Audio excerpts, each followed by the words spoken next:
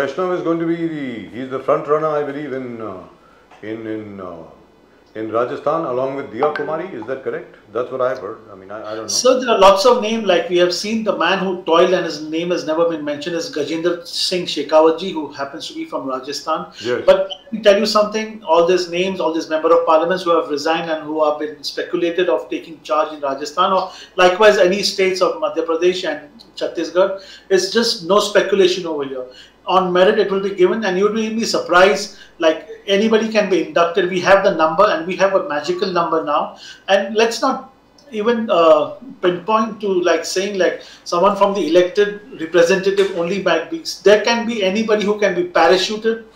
And over here we means business. And Modi ji has not minced with his words. We are working for the four group of people. That is the mahila the farmers the the garib and the people who are the have-nots of this country. So uh, who becomes the CM and all is just secondary.